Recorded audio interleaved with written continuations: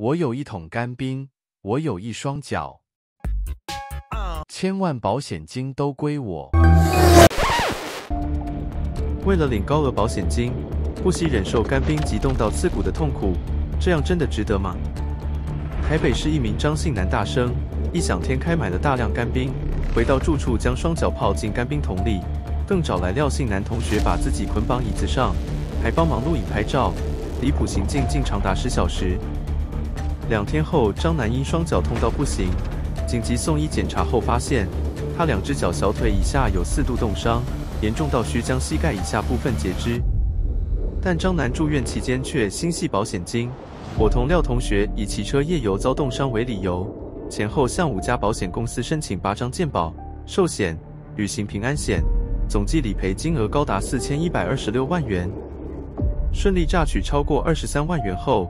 保险公司眉头一皱，查出此件不单纯，认为张楠购买保单与申请理赔的时间仅不到半年，有些甚至只差几个星期。保险公司拒绝理赔后，赶紧报警。终究纸包不住火，张楠却辩称是因为同学惹到黑道弟兄，才听从指导其铤而走险。检警追查来龙去脉后，并不采信两人供词，并依诈欺、帮助他人自伤致重伤等罪嫌将两人起诉。